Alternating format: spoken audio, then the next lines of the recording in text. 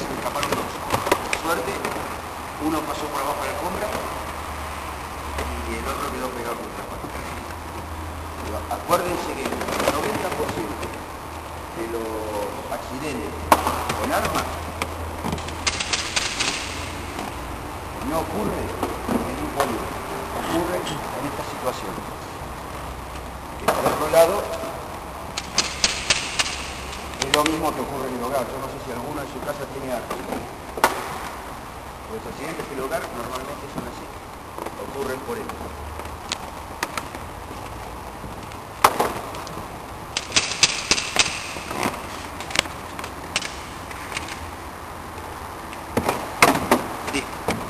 Bueno, vamos a arrancar de. Medida de seguridad. Fundamental.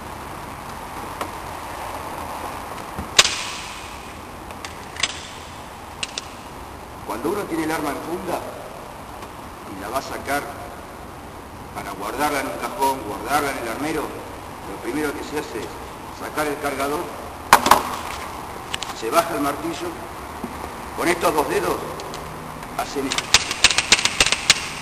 Si hay un proyectil en la recámara, les va a caer en la mano.